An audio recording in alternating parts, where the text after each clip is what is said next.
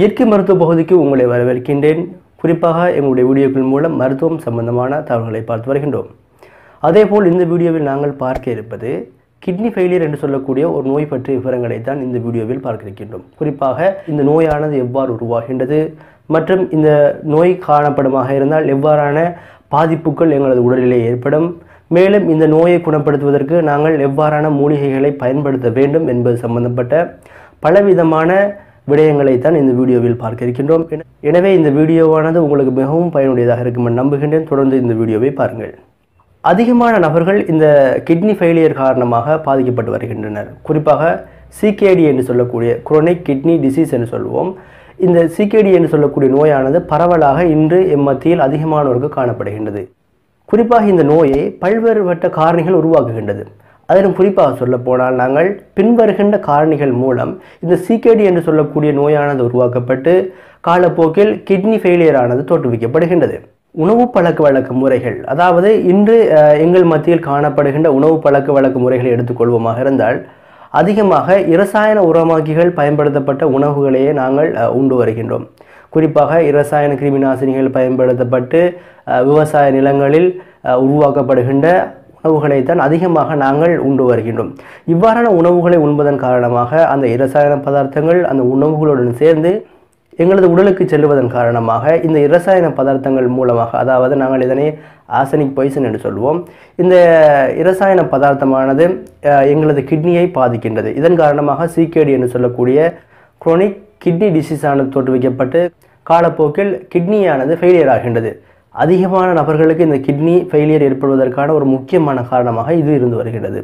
அது மாத்திரம் இல்லாமல் இன்று எம்மத்தியில் அதிகரித்துள்ள ஆங்கில மருந்து பாவனையையும் ஓ, ஒரு காரணமாக சொல்ல முடியும். குறிப்பாக ஆங்கில மருந்து பாவனைகளின் வீதமானது அதிகரித்து வருவதன் காரணமாகவும் அதனை எடுக்கும் கால எல்லையானது நீண்டு கொண்டு செல்வதன் காரணமாகவும் இந்த கிட்னியானது பாதிக்கப்படுகின்றது. குறிப்பாக இந்த ஆங்கில மருந்துகளை பயன்படுத்துவதன் காரணமாக கிட்னி மாத்திரமல்லாமல் லிவர் ஃபெயிலியர் என்று சொல்லக்கூடிய நோயும் உருவாகின்றது. உதாரணமாக சொல்ல வேண்டுமாக இருந்தால் சர்க்கரை நோயாளிகள் அதிகமாக பயன்படுத்துகின்ற ஒரு மாத்திரை தான் மெட்ஃபோமின் என்று சொல்லக்கூடிய ஒரு மாத்திரையாகும். இந்த மாத்திரையை நாங்கள் தொடர்ந்து பயன்படுத்தி வருவதன் காரணமாக அதாவது பத்து வருடத்திற்கு மேலாக ஒரு நபர் இந்த மாத்திரையை தொடர்ந்து பயன்படுத்தி வருவாராக இருந்தால் அவரது கிட்னியானது ஃபெயிலியர் ஆவதற்கு அதிகமான வாய்ப்புகள் இருக்கின்றது. அதிகமாக சக்கரை நோயாளிகள் தான் இந்த கிட்னி பாதிப்புக்கு உள்ளாகின்றனர். அதற்கான காரணம் இந்த மெட்ஃபோமின் என்று சொல்லக்கூடிய மாத்திரையை பயன்படுத்துவது. நச்சு பொருட்கள் மற்றும் இரசாயன பதார்த்தங்கள் காரணமாகவும் எங்களது கிட்னியானது ஃபெயிலியர் ஆவதற்கான வாய்ப்புகள் இருக்கின்றது. உதாரணமாக சொல்ல வேண்டுமாக இருந்தால் ஒருவர் ஒரு கெமிக்கல் ஃபேக்டரியில் வேலை செய்வாராக இருந்தால் அந்த ஃபேக்டரியில் காணப்படுகின்ற இரசாயன பதார்த்தங்கள் சுவாசம் மூலமாகவோ அல்லது வேறு ஏதும் காரணிகள் மூலமாகவோ உடலில் சென்று இரத்தத்துடன் கலப்பதன் காரணமாகவும் எங்களது கிட்னியானது பாதிக்கப்படலாம். விஷமுள்ள பாம்பு வகைகள் அல்லது பூச்சி வகைகள் கடிப்பதன் காரணமாக அந்த நஞ்சானது உடலில் காணப்படுவதன் காரணமாக அதாவது மருத்துவம் எடுத்தாலும் கூட அந்த நஞ்சானது உடலில் காணப்படுவதன் காரணமாக காலப்போக்கில் அதுவும் கிட்னி ஃபெயிலியரை தோற்றுவிப்பதற்கான வாய்ப்புகள் அதிகம் இருக்கின்றது. ஒருவருக்கு ஹைப்பர் டென்ஷன் காணப்படுமாக இருந்தால் இந்த உயர் இரத்த அழுத்தம் காரணமாகவும் காலப்போக்கில் கிட்னி ஃபெயிலியர் ஆனது ஏற்படுவதற்கான வாய்ப்புகள் இருக்கின்றது. இப்படியான நோய்கள் அதாவது சர்க்கரை நோய் உயர் இரத்த அழுத்தம் போன்ற நோய்கள் காரணமாக நீங்கள் பாதிக்கப்பட்டிருப்பின். இந்த விடயத்தில் சற்று கவனம் எடுப்பது மிகவும் அவசியமாகும். ஒருவருக்கு இந்த கிட்னி ஃபெயிலியர் ஆனது அது உடலிலே எவ்வாறான குறிகுணங்களை ஏற்படுத்தும் என்பது சம்பந்தமாக பார்ப்போம். உதாரணமாக சொல்ல போனால் ஒருவருக்கு கிட்னி ஃபெயிலியர் ஏற்பட்டுவிட்டால் அதிகமான சிறுநீரானது வெளியேறும் அல்லது சிறுநீர் வெளியேறுவதில் தடங்கள் ஏற்படும். குறிப்பாக சொல்ல போனால் வளமையாக ஒரு நபருக்கு வெளியேறும் சிறுநீரின் அளவை விட அதிகமான அளவில் சிறுநீரானது வெளியேறும் அல்லது சிறுநீர் உற்பத்தியானது பாதிக்கப்படுவதன் காரணமாக சிறுநீர் வெளியேறும் அளவானது குறையும். எனவே ஒருவருக்கு வளமையை விட வெளியேறுகின்ற சிறுநீரின் அளவானது குறையுமாக இருந்தால் அல்லது வெளியேறும் சிறுநீரின் அளவை விட அதிகமான சிறுநீர் வெளியேறுமாக இருந்தால் இப்படியான இந்த இரண்டு பிரச்சனைகள் காணப்பட்டாலும் கூட அவருக்கு கிட்னி ஃபெயிலியர் ஆவதற்கான வாய்ப்புகளுக்கான ஒரு அறிகுறியாக நாங்கள் இதனை சொல்ல முடியும். மேலும் அதிகமாக வியர்த்தல். குறிப்பாக சொல்ல போனால் எங்களது உடலிலிருந்து வெளியேற்றப்படுகின்ற கழிவுகளானது சிறுநீர் மூலம் வெளியேற்றப்படுகின்றது. எனவே இந்த சிறுநீர் வெளியேறுவதில் பிரச்சனை ஏற்படுமாக இருந்தால் கிட்னி ஃபெயிலியர் காரணமாக சிறுநீர் வெளியே வெளியேறுவதில் பிரச்சனை இருப்பதன் காரணமாக இந்த கழிவுப் பொருட்களை வெளியேற்ற வேண்டிய தேவை உடலுக்கு இருப்பதன் காரணமாக அதிகமாக வியர்க்கும். குறிப்பாக வியர்ப்பதன் மூலமாகவும் எங்களது உடலில் இருக்கின்ற கழிவானது வெளியேறுகின்றது. எனவே ஒரு கிட்னி நோயாளருக்கு அதிகமாக வியர்ப்பதை நீங்கள் காணக்கூடியதாக இருக்கும். ஏனெனில் உடலில் இருக்கின்ற கழிவானது வியர்வை மூலம் வெளியேறுகின்றது. கால் மற்றும் கைகளில் எடிமா போன்ற பிரச்சனைகள் காணப்படும். எடிமா என்று சொல்வது நீர் தேங்கி காணப்படுகின்ற ஒரு நிலைமையை அதாவது நீர் தேங்கி வீக்கமான ஒரு நிலைமையை நாங்கள் எடிமா என்று சொல்வோம். கால் மற்றும் கைகளில் அதிகமாக இந்த எடிமா காணப்படும். திரவத்தை வெளியேற்றுகின்ற ஒரு அதாவது மேலதிகமாக காணப்படுகின்ற திரவத்தை வெளியேற்றும் ஒரு செயல்முறை தான் இந்த சிறுநீர். எனவே இந்த செயல்முறை பாதிக்கப்படுவதன் காரணமாக திரவமானது எங்களது உடலில் சேருவதன் காரணமாக இந்த எடிமா போன்ற பிரச்சனைகள் அதாவது வீக்கங்கள் காணப்படும். அது மாத்திரமில்லாமல் பின்ப பின் இடுப்பு பகுதியில் ஒருவருக்கு தொடர்ந்து வலி காணப்படுமாக இருந்தாலும் கூட கிட்னி ஃபெயிலியருக்கான ஒரு குறிக்குணங்களாக அதனை நாங்கள் சொல்ல முடியும்.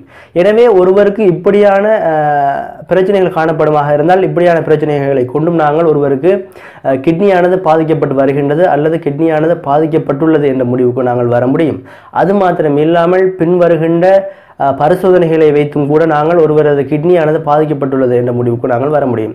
குறிப்பாக சீரம் கிரியேட்டினின் அளவானது அதிகரித்து காணப்படும். இரத்தத்தில் காணப்படுகின்ற கிரியேட்டினின் அளவானது ஒரு மட்டத்தை விட அதிகமாக காணப்படுமாக இருந்தால் அவருக்கு கிட்னியானது பாதிக்கப்பட்டுள்ளது என்ற முடிவுக்கு வர முடியும். ஏனெனில் எங்களது தசைகளிலிருந்து வெளியேறுகின்ற ஒரு கழிவுப் பொருள் தான் கிரியேட்டினைன்.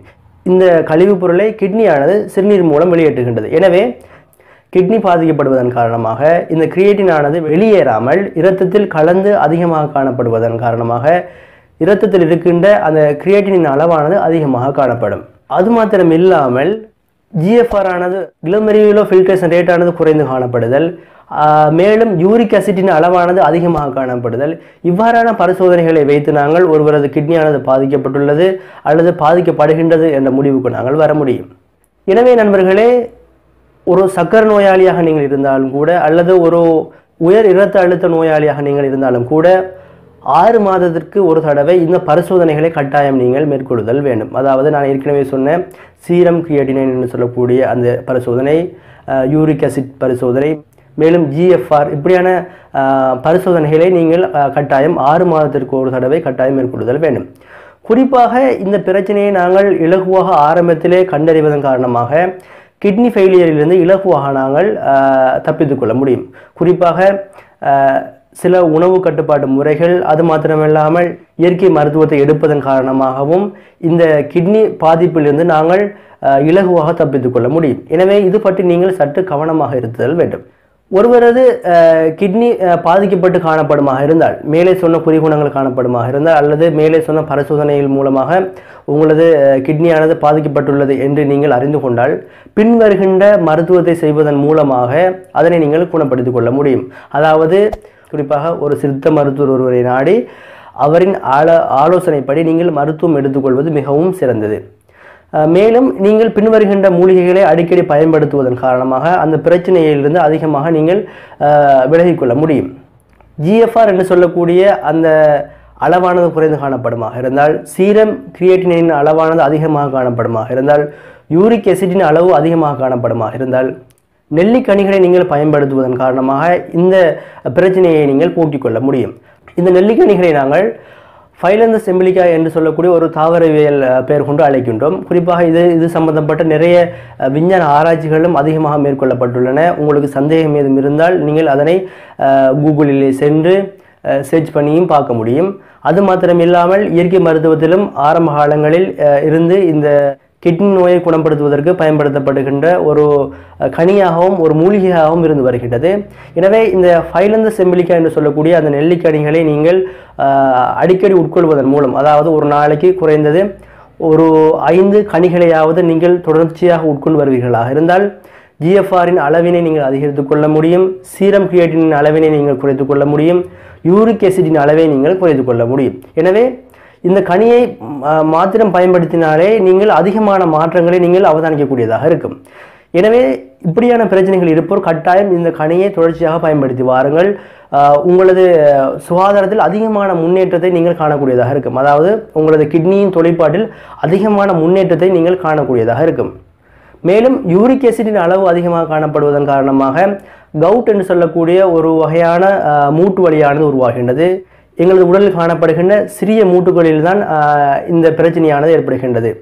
குறிப்பாக கைகளில் இருக்கின்ற இந்த மூ- சிறிய மூட்டுக்கள் காதில் இருக்கின்ற மூட்டுக்கள் பெருவிரல் இப்படியான சிறிய சிறிய மூட்டுகளில் இந்த யூரிக் acid ஆனது போய் படிந்து அந்த மூட்டை பாதிப்பதன் காரணமாக அதிகமான வலியுடன் கூடிய ஒரு மூட்டு வலியை இது உருவாக்கும். எனவே இந்த யூரிக் ஆசிட்டின் அளவை நீங்கள் குறைத்து கொள்ள வேண்டுமாக இருந்தால் பூனை மீசை என்று சொல்லக்கூடிய மூலிகையின் இலையை நீங்கள் மென்று வருவீர்களாக இருந்தால் அதாவது வாயிலே போட்டு மென்று வருவீர்களாக இருந்தால் ஒரு வாரம் அல்லது இரண்டு வாரத்துக்குள் உங்களது யூரிக் அசிட்டானது ஆனது இயல்பு நிலைக்கு திரும்பிவிடும். எனவே இப்படியான பிரச்சனைகள் இருப்பவர்கள் இந்த பூனை மீசை என்று சொல்லக்கூடிய அந்த மூலிகையை அதிகமாக பயன்படுத்துவதன் காரணமாக அந்த பிரச்சனையிலிருந்து உங்களை பாதுகாத்துக் கொள்ள முடியும். மேலும் இது சம்பந்தப்பட்ட ஏதும் சந்தேகங்கள் உங்களுக்கு இருக்குமாக இருந்தால் உங்கள் நீங்கள் ஒரு சிறுநீரக நோயாளியாக இருந்தால் அதற்கான எவ்வாறான மருந்து மாத்திரைகளை நீங்கள் பயன்படுத்த வேண்டும்? மேலதிகமான ஆலோசனைகள் உங்களுக்கு தேவைப்பட்டால் கீழே கொமெண்ட் செய்யுங்கள். அந்த அந்த கேள்விக்கான பதில்களை கட்டாயம் நான் உங்களுக்கு வழங்குகின்றேன். மேலதிகமான ஆலோசனைகள் தேவைப்படுவோர் என்னுடைய வாட்ஸ்அப் இலக்கத்திற்கு தொடர்பு கொள்வதன் மூலமாக மேலதிகமான ஆலோசனைகளையும் நீங்கள் பெற்றுக்கொள்ள முடியும். எனவே நண்பர்களே இந்த வீடியோ உங்களுக்கு பிடித்திருந்தால் கட்டாயம் உங்களது நண்பர்களுக்கு பகிர்ந்து கொள்ள மறக்காதீர்கள். மேலும் எங்களுடைய சேனலை சப்ஸ்கிரைப் பண்ண மறக்காதீர்கள்.